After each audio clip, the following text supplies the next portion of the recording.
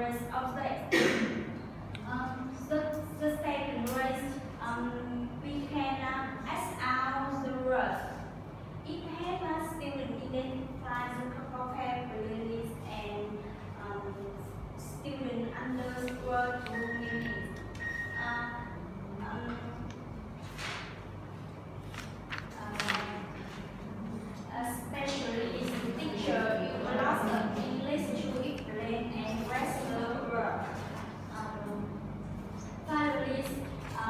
teacher can use the words students know. Um, it, it helps to explain for students to guess uh, the word and apply the word in the context. Um, uh,